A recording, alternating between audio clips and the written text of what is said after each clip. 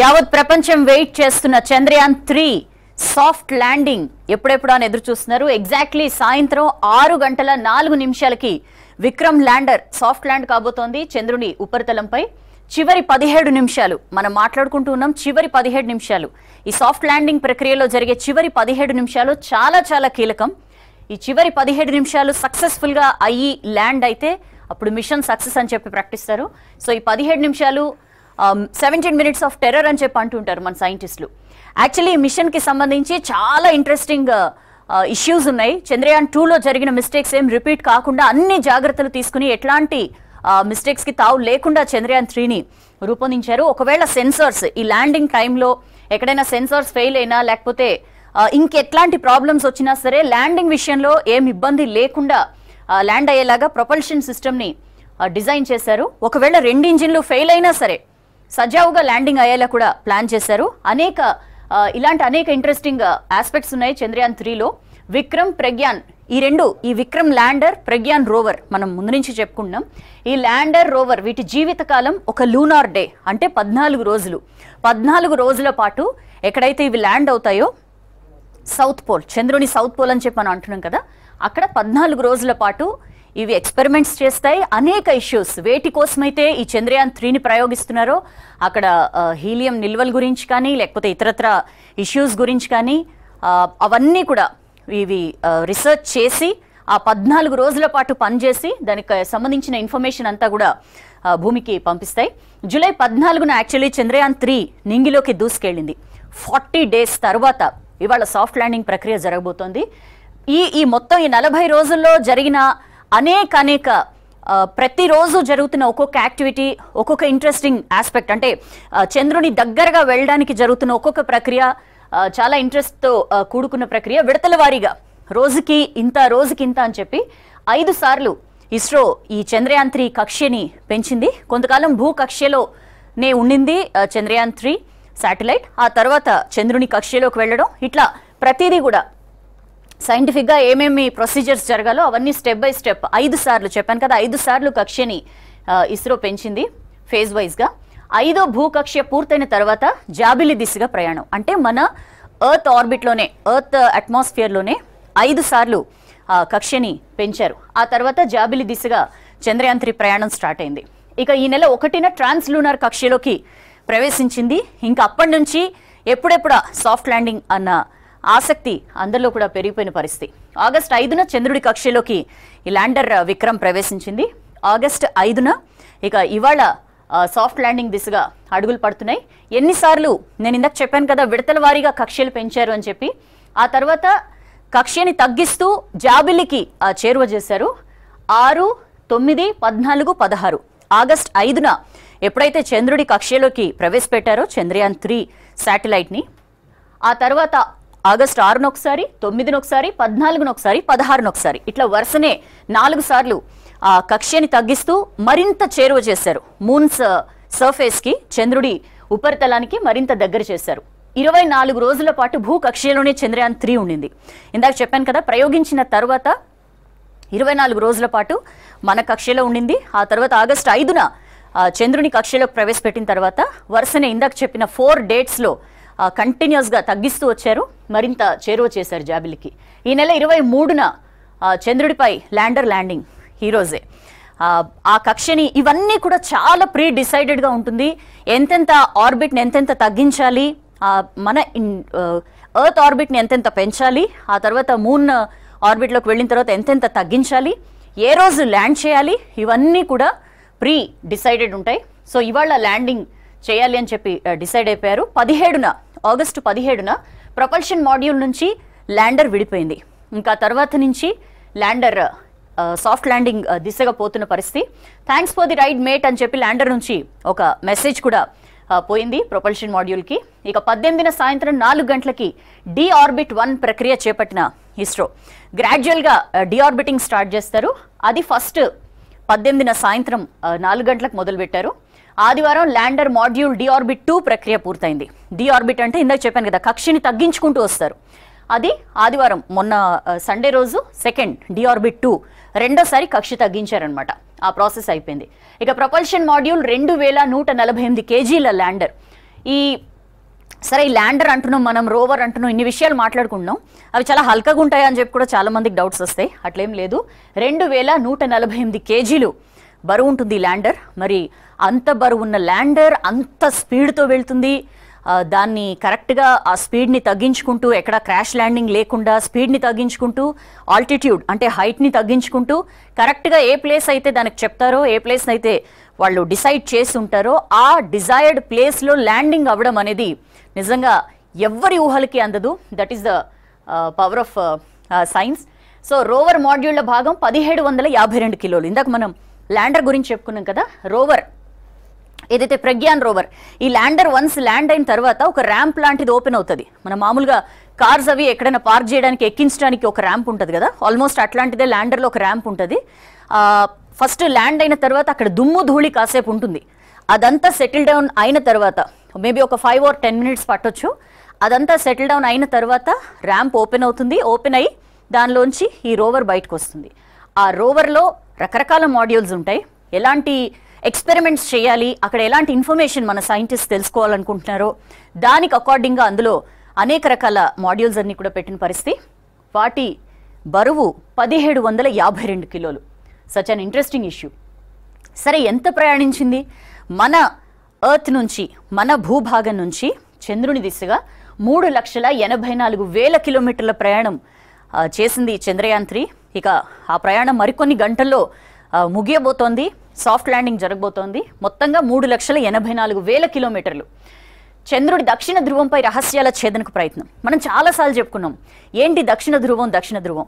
Chandrayaan one first మనం పంపించిన machine. అదేం సాఫ్ట్ ల్యాండింగ్ కాదు it was just hard landing మిషనే అది సాఫ్ట్ ల్యాండింగ్ కోసం పంపించింది కాదు. ఆ చంద్రయాన్ వన్ ద్వారా మన వాళ్ళు ఏం కనుక్కోగలిగారంటే దక్షిణ ధ్రువం చంద్రుడి సౌత్ పోల్ దగ్గర వాటర్ ఐస్ ఫామ్ అయి ఉంది వాటర్ ఆనవాళ్ళు ఉన్నాయి ఇట్లాంటి అనేక ఇష్యూస్ కనుక్కోగలిగారు. అప్పటి నుంచి కూడా ఇంకా మనం మరింత ఛేదించాలి మరిన్ని ఇష్యూస్ తెలుసుకోవాలి చంద్రుని దక్షిణ ధ్రువం మీద ఎందుకంటే ఇప్పటిదాకా పంపించిన ఏ దేశాలైనా సరే అగ్రదేశాలు ఏవైనా సరే యుఎస్ కానీ లేకపోతే అప్పటి సోవియట్ యూనియన్ కానీ చైనా కానీ ఇవన్నీ కూడా ఈక్వెటోరియల్ రీజన్. ఎట్లయితే భూమధ్య రేఖ అంటాం కదా మనం ఎర్త్కి ఎట్లయితే ఈక్వేటర్ ఉంటుందో అట్లనే మూన్కి కూడా ఈక్వేటర్ ఉంటుంది. సో ఆ దేశాలన్నీ కూడా ఈక్విటోరియల్ రీజన్ మీదే కాన్సన్ట్రేట్ చేస్తున్నాయి. ఇందాక మనతో సైంటిస్ట్ uh, మన uh, అస్ట్రానమీ ప్రొఫెసర్స్ చెప్పినట్లు చైనా రెండుసార్లు నార్త్ పోల్ మీద uh, సాఫ్ట్ ల్యాండింగ్ చేసింది సక్సెస్ఫుల్గా సో చైనా కాన్సన్ట్రేషన్ అక్కడ ఉంది ఈ ఈక్విటోరియల్ రీజన్లో ఏమేం స్పెషాలిటీస్ ఉంటాయి? అక్కడ ఏమేం ఎట్లా ఉంటుంది? మూన్ నేచర్ ఎలా ఉంటుంది? ఇలాంటి అనేక ఇష్యూస్ అనేక రకాలుగా ఈ అగ్రదేశాలన్నీ స్టడీ చేస్తూనే ఉన్నాయి. సో సౌత్ పోల్ ఇప్పటిదాకా ఎవరు ఎక్స్ప్లోర్ చేయని ప్లేస్ ఏదైనా ఉందంటే సౌత్ పోల్ అందుకనే అక్కడ ఏముంటాయి? అక్కడ ఎలాంటి రిసోర్సెస్ ఉంటాయి? అక్కడ ఏం జరుగుతుంటుంది? ఇవన్నీ స్టడీ చేయడానికే మనం దక్షిణ ధ్రువంపై కాన్సన్ట్రేట్ చేసాం సూర్యరశ్మి పడని చీకటి ప్రాంతంలో ల్యాండింగ్ ఎందుకు ఎవరు ఈ సౌత్ పోల్ మీద కాన్సన్ట్రేట్ చేయలేదు అంటే మరొక ఇంట్రెస్టింగ్ ఇష్యూ అక్కడ సూర్యరశ్మి పడదు. చాలా చీకటి ఉంటుంది. అందుకని చెప్పి కూడా ఎక్కువగా చూడలేదు. ఈ చంద్రయాన్ త్రీ ఓవరాల్ బరువు ఇందాక మనం విడిగా ల్యాండర్ బరువు రోవర్లో ఉన్న మాడ్యూల్స్ బరువు చెప్పుకున్నాం కదా ఓవరాల్గా చంద్రయాన్ త్రీ బరువు మూడు వేల తొమ్మిది వందల కిలోలు. చంద్రుడి చుట్టూ కక్షలో Chandrayaan two orbiter. Chandrayaan two చివరి నిమిషంలో ఏదైతే అనుకున్న అనుకున్న ఫలితం రాబట్ట లేకపోయిందో జస్ట్ ఒక టూ కిలోమీటర్స్ అనుకుంటా సబ్జెక్ట్ టు కరెక్షన్ ఆ టైంలోనే ఆ, చంద్రయాన్ టూ క్రాష్ ల్యాండింగ్ అయిపోయింది. అయితే ఆ చంద్రయాన్ టూలో ఆర్బిటర్ ఏదైతే జనరల్గా orbiter lander and rover three parts ఉంటాయి. ఆ చంద్రయాన్ టూ పంపించినప్పుడే దాని ఆర్బిటర్ జీవిత కాలం ఏడు సంవత్సరాలు అని చెప్పి అప్పుడు మన సైంటిస్ట్ చెప్పారు. సో టూ థౌజండ్ నైన్టీన్ నుంచి ఏడు సంవత్సరాలు అంటే స్టిల్ అది యాక్టివ్ మోడ్లోనే ఉంది. సో చంద్రుడి చుట్టూ చంద్రయాన్ టూ ఆర్బిటర్ తిరుగుతూనే ఉంది. మన చంద్రయాన్ త్రీకి వెల్కమ్ బడ్డీ అని చెప్పి మెసేజ్ కూడా ఇచ్చింది. ఈ చంద్రుడి ఈక్వేటర్ దగ్గరే ప్రోబ్స్ రాకెట్స్ ల్యాండ్ జనరల్గా ఏం జరిగినా సరే చంద్రుడి ఈక్వెటోరియల్ రీజన్ ఇందాక చెప్పినట్లు అక్కడనే ఈ ప్రోబ్స్ అన్నీ ఏవైనా రాకెట్ లాంచింగ్స్ కానీ ఇంకా ఎట్సెట్రా ఏవైనా సరే అక్కడే జరుగుతుంటాయి ధృవాల దగ్గర ఆరు నెలలు పగలు ఆరు నెలలు చీకటి. ఈ రెండు అటు నార్త్ పోల్ కానీ లేకపోతే ఇటు సౌత్ పోల్ కానీ రెండిటి దగ్గర కూడా ఒక ఆరు నెలలు వెళ్తురుంటే ఆరు నెలలు చీకటి ఉంటుంది జనరల్గా కూడా ఇప్పుడు ఇప్పుడు మన సూర్యోదయం అయ్యే టైంకి సాఫ్ట్ ల్యాండింగ్ మన వాళ్ళు ప్లాన్ చేసింది కూడా అందుకే సూర్యరశ్మిని వాడుకుని సోలార్ ప్యానెల్స్ ఉంటాయి మన ల్యాండర్లో. ఆ సోలార్ ప్యానెల్స్ రోవర్ మీద కూడా ఆ సూర్యరశ్మిని దాని నుంచి వచ్చి దాన్ని వాడుకుని ఎలక్ట్రిసిటీ సొంతంగా ప్రొడ్యూస్ చేసుకుని ఈ పద్నాలుగు రోజుల పాటు యాక్టివ్గా ఏ పని చేయాలో వీళ్ళు దేనికోసమైతే పంపించారో ఆ పనులన్నీ కూడా ఇవి చక్కబెడతాయి. రాత్రి వేళల్లో minus one twenty degrees temperatures ఎంత ఎక్స్ట్రీమ్ కండిషన్స్ ఉంటాయంటే చంద్రుడి మీద ఇంత అందంగా కనిపించే చందమామ ఇంత ఎక్స్ట్రీమ్ టెంపరేచర్స్ ఉంటాయని చెప్పి మనకు అనిపిస్తుంది. రాత్రి వేళల్లో minus one twenty degrees temperatures ఉంటాయి. మరి పగటి వేళల్లో వన్ ఎయిటీ డిగ్రీస్ ఉష్ణోగ్రత. జస్ట్ ఇమాజిన్ మన దగ్గర ఫార్టీ ఫైవ్ ఫార్టీ సిక్స్కే మనం చెమటలుగా అక్కేస్తాం అట్లాంటిది పగటి వేళల్లో వన్ ఎయిటీ డిగ్రీస్ ఉష్ణోగ్రత ఉంటుంది. టూ థౌజండ్ నైన్లో చంద్రుడిపై నీరున్నట్లు ప్రకటించిన ఇస్రో. అప్పుడే మనం పంపించిన చంద్రయాన్ వన్ ద్వారా చంద్రయాన్ వన్ తీసిన ఫొటోస్ ద్వారా మూన్ మీద మూన్ సర్ఫేస్ మీద నీటి ఆనవాళ్ళు ఉన్నాయని చెప్పి అప్పట్లో ఇస్రో ప్రకటించింది. భూమికి అతి దగ్గరగా ఉన్న ఖగోళం చంద్రుడే. అందుకనే మనం ఏవైనా సరే ఈ చంద్రయాన్ వన్ కానీ టూ కానీ త్రీ కానీ మనం చేస్తున్నది అదే. ఎందుకంటే అంత ఎక్స్ట్రీమ్ టెంపరేచర్స్లో మనం వెళ్ళి అక్కడ ఉండగలిగే పరిస్థితులు అయితే ఉండవు. అందుకని చెప్పి అతి దగ్గరగా ఉన్న ఖగోళం చంద్రుడే కాబట్టి ఒకవేళ మనం ఏదైనా రాకెట్స్ పంపించాలన్నా లేకపోతే ఇంకా ఇతరత్ర ఏమైనా ఎక్స్పెరిమెంట్స్ చేయాలన్నా వేరే ఏ గ్రహంలో అయినా చేయాలన్నా ఒక హాల్ట్ లాగా మనం ఎక్కడికైనా వెళ్ళేటప్పుడు దూరం సుదూరం ప్రాంతాలు వెళ్ళేటప్పుడు మధ్యలో ఏదైతే ఓ పర్టికులర్ ప్లేస్ హాల్ట్ అని చెప్పి పెట్టుకుంటామో అట్లా చంద్రుడిని ఒక హాల్ట్ కింద వాడుకునే దిశగానే అన్ని ప్రయోగాలు జరుగుతున్నాయి. సో అతి దగ్గరగా ఉన్న ఖగోళం చంద్రుడు కాబట్టి అక్కడున్న కండిషన్స్ని వాటన్నిటిని స్టడీ చేసి ఇన్ కేస్ దాన్ని ఒక హాల్ట్ కింద వాడుకుని ఆ తర్వాత అక్కడి నుంచి నెక్స్ట్ ఏ ప్లానెట్ కోసం ఏ ప్లానెట్ దగ్గరికి వెళ్దాం అనుకుంటున్నారో ఆ ప్లానెట్ మీద వాళ్ళు చేయాల్సిన ప్రయోగాలు ఆ దిశగా కూడా ప్లాన్ చేయడానికే ఇన్ని ప్రయోగాలు జరుగుతున్నాయి. ఈ ల్యాండర్ అడుగు పెట్టేందుకు అంతా సిద్ధమైంది. ఆల్మోస్ట్ ఫోర్ థర్టీ ఫైవ్ ఇంకా చాలా తక్కువ టైం ఉంది. మేబీ ఇంకొక గంటన్నర. ఈ గంటన్నరలో మనకి ఫలితం తేలిపోతుంది. మొత్తం అన్ని రకాలుగా సర్వసన్నద్ధంగా ఉంది. ఇందాకని ట్వీట్ కూడా చేసింది ISRO everything is well and good మొత్తం సాఫ్ట్ ల్యాండింగ్కి అంతా పర్ఫెక్ట్గా ఉంది. మన ల్యాండర్ హెల్త్ ప్రాపర్గా ఉంది. అక్కడ చంద్రుడి మీద వాతావరణం కూడా అనుకూలంగా ఉంది అని చెప్పి. సో మొత్తం ఐదు గంటల నలభై నాలుగు నిమిషాలకి సౌత్ పోల్ పైకి ల్యాండర్ మరి ఆరు గంటల ఐదు నిమిషాలు ఆరు గంటల నాలుగు నిమిషాలు అంటున్నారంటారా? ఈ ఫైవ్ ఫార్టీ ఫోర్కే స్టార్ట్ అవుతుంది ఆ సెవెంటీన్ మినిట్స్ టెర్రర్ అనేది. ఆ తర్వాత ఆరు గంటల నాలుగు నిమిషాలకి సాఫ్ట్ ల్యాండింగ్ జరుగుతుంది. ఆ టెర్రర్ సెవెంటీన్ మినిట్స్ పై కూడా చాలా ఆతృతగా వెయిట్ చేస్తున్నారు. ల్యాండింగ్ పూర్తవగానే ప్రజ్ఞాన్ రోవర్ బయటకు వస్తుంది ఇందాక చెప్పాను కదా ల్యాండింగ్ అయిన తర్వాత దుమ్ము ధూళి అంతా సెటిల్ డౌన్ అయిన తర్వాత ఈ రోవర్ బయటకు వచ్చి పద్నాలుగు రోజుల పాటు ఈ జాబిలిపై ప్రజ్ఞాన్ రోవర్ తిరుగుతుంది. ఎక్కడెక్కడ ఏం పనులు చేయాలి? ఏ బిలం ఉంది? లేకపోతే ఎక్కడ ఏ సర్ఫేస్లో ఎట్లాంటి అంటే దానికి ఏదైతే ప్రీ ప్రోగ్రామ్డ్ రోవర్ ఈ పనులు చేయాలని చెప్పి ఆల్రెడీ మన వాళ్ళు ఫీడ్ చేసి ఉంటారు కాబట్టి ఎప్పటికప్పుడు ఇన్స్ట్రక్షన్స్ కూడా వెళ్తూ ఉంటాయని చెప్పి ఇందాక మనతో జాయిన్ అయిన ఎక్స్పర్ట్స్ కూడా చెప్పారు. సో ఎప్పటికప్పుడు ఈ ఫోటోలు పంపబోతుంది రోవర్. అట్లనే ఈ ల్యాండర్లో కూడా సీస్మిక్ యాక్టివిటీ చంద్రుడి మీద భూకంపాలు ఏవైనా వచ్చిన ఆనవాళ్ళు కానీ లేకపోతే ఇట్లాంటి అనేక ఇష్యూస్ని తెలుసుకోవడానికి ల్యాండర్లో కూడా అట్లాంటి ఏర్పాట్లు చేసి పంపించారు. లోపలికి డ్రిల్ చేసి దానికి సంబంధించిన ఇన్ఫర్మేషన్ కూడా ల్యాండర్ పంపించేలా కూడా ఈ చంద్రయాన్ త్రీలో ల్యాండర్ని రోవర్ని డిజైన్ చేశారు. ఎప్పటికప్పుడు రోవర్ ఈ ఫొటోస్ పంపుతూ ఉంటుంది. So such an interesting astronomical event Chandrayaan three. ఇంకాసేపట్లోనే ఈ సాఫ్ట్ ల్యాండింగ్ జరగబోతోంది దేశం మొత్తం. ఇన్ఫాక్ట్ దేశం కాదు ప్రపంచం మొత్తం ఆ క్షణం కోసం ఎదురు చూస్తోంది. ఇంకొన్ని నిమిషాల్లోనే ఈ అద్భుతం ఆవిష్కృతం కాబోతోంది. అయితే ఆ last seventeen minutes minutes of terror అని చెప్పి మనం అనుకుంటున్నాం. ఆ సెవెంటీన్ మినిట్స్లో ఏం జరుగుతుందో స్పేస్ ఎక్స్పర్ట్ రఘునందన్ వివరించారు. ఒకసారి చూద్దాం. జరుగుతున్న ప్రక్రియ ఇదనమాట you can see these are the various phases in which all this landing is to gone to take place అయితే ఇప్పటిదాకా చంద్రుడి మీద దిగిన దేశాలు ఏవి? అని మనం చూసుకుంటే మొదటిగా Soviet Union okay. United States of America China and India.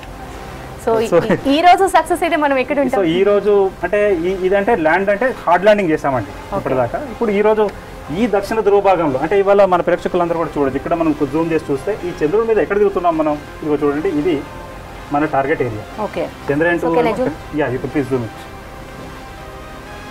so ఇట్లాంటి అన్ని అంశాలు మనం విద్యార్థులకు చెప్పాలండి. చెప్పి వాళ్ళలో మనం అవగాహన తీసుకొస్తే చాలా మార్పు ఉంటుంది. సో మొత్తానికి ఇవాళ టార్గెట్ మనది ఏంటంటే చంద్రుడి యొక్క దీంట్లో దిగాలి. అయితే చాలా మంది ఏం చేస్తున్నారంటే సౌత్ పోల్లో దిగుతుంది అని చెప్తా ఉన్నారు. అది అవాస్తవం. ఓకే. ఎందుకు సౌత్ పోల్ అంటే సౌత్ పోల్ అంటే నైంటీ డిగ్రీస్ అండి. ఎగ్జాక్ట్గా నైంటీ. కాకపోతే ఇంకోటి ఏంటంటే సౌత్ పోల్ దగ్గర దిగితే సమస్య ఏంటంటే అక్కడ ఎక్కడ సూర్యుడు వెలుగు రాదు ఎప్పుడు కూడా. అయితే మనము ఈ పోల్ నుంచి ఆరు వందల ముప్పై కిలోమీటర్ దూరంలో ఉన్నాం. ఆరు వందల ముప్పై కిలోమీటర్ అంటే ఎంత దూరం అండి? ఆల్మోస్ట్ చాలా దూరం అది. సో ఇక్కడ నుంచి ఈ ప్రాంతంలో మాత్రం మనకి సూర్యుడు వెలుగు వస్తుంది. సో మొన్న శాస్త్రవేత్తలు ఏం చెప్పారంటే ఈ ప్లేస్లో సూర్యోదయం కోసం వెయిట్ చేస్తున్నాము. ఇరవై మూడు తారీఖు నాడు సూర్యుడు ఎందుకంటే మన ఈ యొక్క మిషన్ ఫోర్టీన్ డేస్ పాటే పనిచేయగలుగుతుంది. సూర్యుడు విదే ఒక దీంతోనే పనిచేయగలుగుతుంది అనమాట అండి. సో కాబట్టి ఇది ఇలా పోల్ దగ్గర ఉంది అని మాత్రం అయితే సౌత్ పోల్ అనేది అయితే అది తప్పు. యాక్చువల్గా పోల్ నుంచి ఆరు వందల ముప్పై కిలోమీటర్లు అంటే మొత్తానికైతే సదర్న్ భాగంలో ఉందని చెప్పొచ్చు. Hmm. That is one thing but అక్కడికి వెళ్తురు వస్తుందంటారా? యా వస్తుందండి ఓకే వస్తుంది ఇది చూడండి ఇట్లా వేరే వేరే దేశాలు అంటే మరి మిగతా దేశాలను ఎక్కడ దిగాయి సార్? మనము మనం ఇట్లా డిఫరెంట్ అంటే మీరు చూడండి అమెరికా వాళ్ళందరూ కూడా ఈ ఈక్వేటర్ భాగంలో చాలా మంది దిగారు. సో ఉత్తర ధ్రువంలో ఎక్కువ మంది దిగారు. అంటే లేదు దాని యొక్క చంద్రుడి యొక్క మధ్య భాగంలో భాగం. ఈక్వేటర్ ఈక్వేటర్ ఓకే ప్రాంతంలో అందరూ దిగారు. ఓకే ఓకే కానీ ఈ ప్రాంతంలో ఎవరు దిగలేదు. ఓకే అది మన ఇండియాకే మొదటిసారి టూ థౌజండ్ ఎయిట్లో చేసింది. ఇప్పుడు మళ్ళా మళ్ళీ చేయబోతా ఉందని చెప్పుకోవచ్చు. అయితే మొన్న చాలా బాధాకరం మనకు తెలుసు రష్యా వాళ్ళకి సంబంధించిన లూనా ట్వంటీ ఫైవ్ కూడా దిగుతుంది అనుకున్నారు. అయితే చాలా మంది ఒక వార్త ఏం చేశారంటే ఇది క్రాష్ అవుతుంది రెండు దగ్గర దగ్గర దిగుతాయేమో క్రాష్ అవుతుందేమో అనుకుంటే బేసికల్గా జరిగింది ఏంటంటే వాళ్ళ ప్రాంతం మనం దిగుదాం ఒకసారి కిందికి తీసుకోండి కొద్దిగా యా సో వాళ్ళు వాళ్ళు దిగుదాం అనుకున్న ప్రాంతానికి మన ప్రాంతానికి అంటే ఇక్కడ చూడండి లూనా ట్వంటీ ఫైవ్ ఇక్కడ దిగాలి మనం ఇక్కడ దిగాలి వాళ్ళకి మనకి నూట ఇరవై కిలోమీటర్ దూరం ఉంది. అండ్ అదే కాకుండా వాళ్ళు మన మన తర్వాత లాంచ్ అయిన తర్వాత మనకన్నా ముందు ఎందుకు వెళ్ళారు అంటే వాళ్ళకి సూర్యోదయం ఇరవై ఒకటి తారీఖు నాడు వస్తుంది. మనకి ఇరవై మూడో తారీఖు నాడు వస్తుంది. అయితే ఒకవేళ మనము అరే మనతో పోటీ పడుతున్నారు కదా అని ముందుగా మనం వెళ్తే కనుక మనం ఏం చేయాలి అంటే వెళ్ళామనుకోండి ఇక్కడ చీకటి ఉంటుంది. సో చీకట్లో మనం పనిచేయడానికి మన ఇన్స్ట్రుమెంట్స్ సహకరించాయి అనమాట కాబట్టి landing site has decided who has to go first sir మరి ఇప్పుడు ఇది స్వ- స్వయం ప్ర- ప్రతిపత్తితో పనిచేస్తుంది. ఎవరు? మన విక్రమ్ ఎలా చేస్తుంది? ఫర్ ఎగ్జాంపుల్ ఇక్కడ చూడండి లేజర్ ఇనర్షియల్ రిఫరెన్సింగ్ యాక్టోస్ యాక్టోసిలోమీటర్ ప్యాకేజ్ అని కానీ. సో ఇవి ల్యాండర్ మీద ఉన్న సెన్సార్స్ అనమాట ఓకే. అంటే ఇందులో సెన్సార్స్ కొన్ని సెన్సార్స్ ఏం చేస్తాయంటే మీకు ల్యాండర్కి చంద్రుడి సర్ఫేస్ మధ్య ఉన్న దూరాన్ని చెప్తుంది వేగాన్ని చెప్తుంది. ఇదంతా కూడా ఇన్ఫర్మేషన్ ఆన్బోర్డ్ కంప్యూటర్కి ఇస్తుంది అనమాట ఓకే. ఆన్బోర్డ్ కంప్యూటర్ దాని బేసిస్ మీద నిర్ణయం తీసుకుంటుంది. అయితే ఇప్పుడు దక్షిణ ధ్రువం మీద మనకు ఆక్సిజన్ ఉండే అవకాశం ఉంటుందా? ఇది అందరి డౌట్ అన్నమాట. సో దీనికి సంబంధించి ఏమంటారు అంటే ఒకటండి చంద్రుడి మీద ఆక్సిజన్ అంటే మీకు డైరెక్ట్గా ఏమీ ఉండదు. రెండవ ఇంపార్టెంట్ విషయం ఏంటంటే చంద్రుడి మీద బతకడం చాలా కష్టం. అక్కడ నివాస యోగ్యంగా లేనే లేదు అసలు చంద్రుడు. ఎందుకు అంటే అక్కడ మీరు కేవలం డస్ట్ని పీల్చుకున్నా కూడా చనిపోతారు. కారణం ఏమిటి అంటే అట్మాస్ఫియర్ లేకపోవడం వల్ల సూర్యుడు వెలుగు వచ్చి డైరెక్ట్గా అక్కడ డస్ట్ అక్కడ మీద పడడం వల్ల అది చాలా ఛార్జ్డ్గా ఉంటుందన్నమాట. సో మీరు పొరపాటున కూడా మీరు అది పీల్చుకున్నా కూడా చనిపోయే పరిస్థితి ఉంటుంది. కాబట్టి అయితే వీళ్ళందరూ కూడా పరిశోధన ఎందుకు చేస్తున్నారు? ఈ యొక్క చంద్రుడి మీద అంటే చంద్రుడు is going to be the base station అంటే మీరు సుదూరంతరిక్షంలో వెళ్ళాలి అంటే దారిలో వెళ్ళినప్పుడు రీఫ్యూలింగ్ స్టేషన్ గాను లేకపోతే అక్కడ మనము ఏదైనా వెహికల్స్ అన్ని తయారు చేసుకుంటే చాలా తక్కువ ఖర్చుతో మనం ఆ అంతరిక్షంలో వెళ్ళొచ్చు అనమాట కాబట్టి దాన్ని ఒక బేస్ స్టేషన్గా యూజ్ చేసుకోవడానికి ఇదంతా జరుగుతుంది. Okay. So that is a thing so yeah so ఈ రోజు ఏం జరగబోతుంది అని మనం చూసుకుంటే ఇక్కడ మన స్క్రీన్ మీద చూడొచ్చు. మన ప్రేక్షకులు you can even take a screen shot also మీరు ఈ స్క్రీన్ షాట్ చేసు తీసుకొని నిజంగా ఇలా జరిగి జరుగుతుందా లేదా అనేది మీరు చెక్ చేసుకోవచ్చు.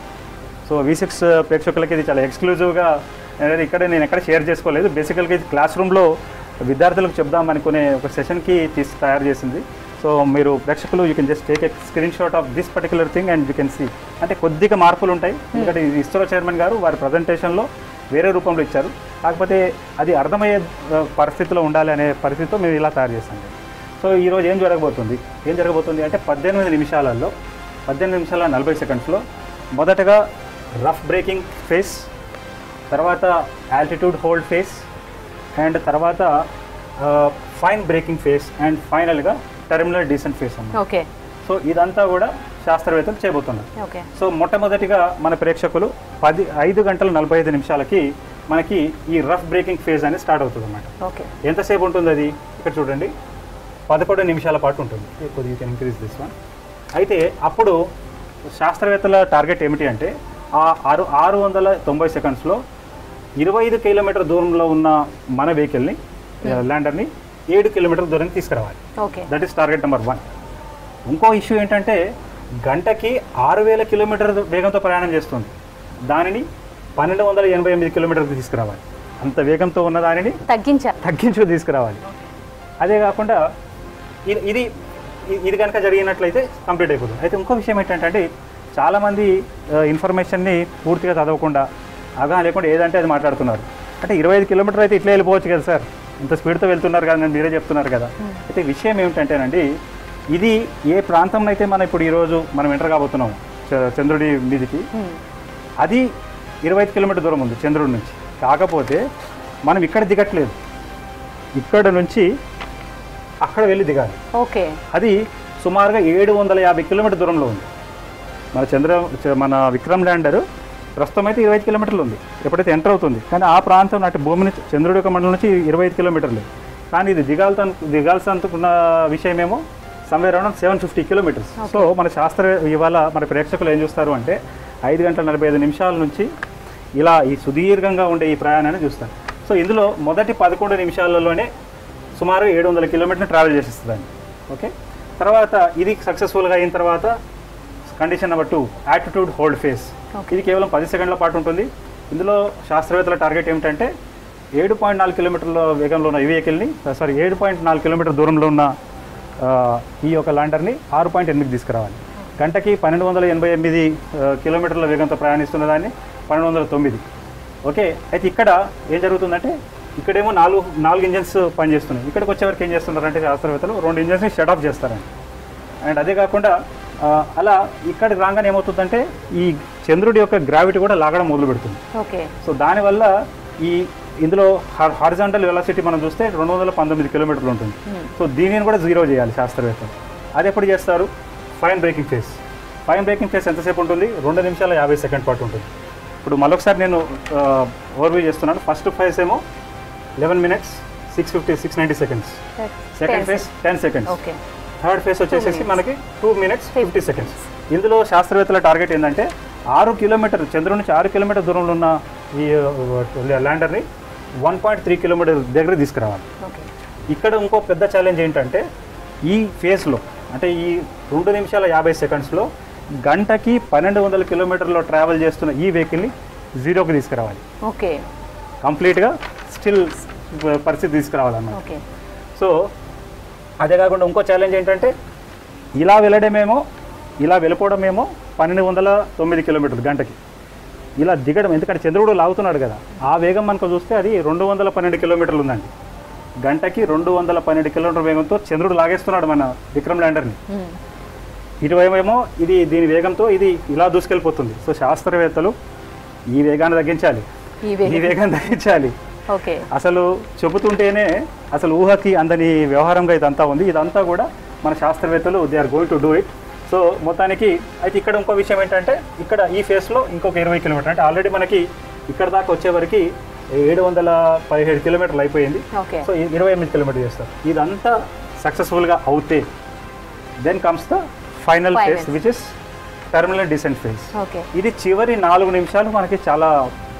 క్రూషియల్గా ఉంటాయని చెప్పొచ్చు. అక్కడ ఏం జరుగుతుందంటే శాస్త్రవేత్తల టార్గెట్ ఏంటంటే వన్ పాయింట్ త్రీ కిలోమీటర్కి వచ్చేసి ఉంటుంది ల్యాండర్ అక్కడ నుంచి ఎనభై వందల మీటర్ ఎనిమిది వందల మీటర్కి తీసుకురావాలి. ఈ ఎనిమిది వందల మీటర్ తీసుకొచ్చేటప్పుడు ఏమవుతుందంటే అండి ఇది చాలా interesting thing I'm trying to tell to the people ఈ యొక్క ల్యాండర్ హావరింగ్ చేస్తుంది. అంటే కొద్దిసేపు ఎంతసేపు కొన్ని సెకండ్స్ పాటు అంటే ఒక పన్నెండు సెకండ్ల పాటు ఇలానే ఉండి చూస్తుంటుంది అనమాట అంటే దిగుతూ ఉంటుంది కానీ హోవరింగ్ చేస్తుంది. అంటే ఒక హెలికాప్టర్ లేదు అక్కడ దానికి వింగ్స్ ఏం లేవు. But still it will be hovering okay ఆ పన్నెండు సెకండ్లు ఏం చేస్తుందంటే తన కింద ఉన్న ఆ ప్రాంతాన్ని చెక్ చేసుకుంటుంటుంది అనమాట అది అనుమానంగా ఉందా లేదా? అది ఏంటనేది కూడా నేను మీకు చెప్తాను. సో ఫైనల్గా ఇలా వారు ఎనభై ఎనిమిది వందల మీటర్ నుంచి నూట యాభై మీటర్లకు రావాలి. ఎన్ని సెకండ్స్లలో? చూడండి ప్రతి సెకండ్ని ప్రతి థింగ్ని కూడా శాస్త్రవేత్తలు ముందుగానే ప్లాన్ చేశారు. సో ఈ విధంగా ఈ వెహికల్ మనకి పది నూట యాభై మీటర్ దగ్గరికి వస్తుందండి. ఇది చాలా క్రూషల్ అండి. ఇవన్నీ జరిగింది ఒకటైతే ఈ నూట యాభై మీటర్ దగ్గర ఏమిటంటే మనకి ప్లాన్ ఏ ప్లాన్ బి ఉందన్నమాట. ప్లాన్ ఏ ప్లాన్ ఏ అంటే యాక్చువల్ ప్రకారం ఏ ప్లేన్స్ అయితే దిగాలనుకుందో దిగాలని అనుకుంటుందో మొదటి డిసిషన్ తీసుకుంటే అక్కడికి వెళ్ళిపోతుంది. అయితే ఒకవేళ అది అనుభవంగా లేదు అంటే నూట యాభై మీటర్ల చంద్రుడికి ఇంకా నూట యాభై మీటర్లు ఉండగా ఉండగా మనకి ఇంకో డిసిషన్ ఏం తీసుకోవాలి అంటే ప్లాన్ బి ఒక ఏ బాగలేకపోతే ఆ లైట్ బాగలేకపోతే ప్లాన్ బి అయితే అది ఏం చేస్తుందంటే వెహికల్ ఇక్కడ నుంచి దూరం వెళ్తుంది. ఒక నూట యాభై మీటర్స్ దూరం గట్టిగా హారిజాంటల్గా వెళ్ళి అక్కడ ఈ ల్యాండింగ్ అనేది ఎనభై సెకండ్లో చేయాలి. సో ఇవన్నీ కూడా గతంలో చేద్దాం అనుకున్న ప్రయత్నం మన శాస్త్రవేత్తలు చేశారంటే సో ఈ రకంగా ప్రేక్షకులకి ఇదంతా చెప్పే ప్రయత్నం కూడా మేము ఈరోజు చేస్తుంది మీరు చూడొచ్చు. సో ఇదంతా కూడా యాక్చువల్గా ఏంటంటే శాస్త్రవేత్తలు సింపుల్ ఓకే గ్రూప్లో ఇచ్చారు. కానీ మనం మేము దాన్ని వివరించి ప్రేక్షకులు చెప్పే ప్రయత్నం మేము చేయడం జరిగింది. సో మొత్తానికి ఈ రకంగా ఇవాళ ఈ descent మొదలవుతుందండి. Rough braking phase attitude attitude hold phase fine braking phase and. Terminal phase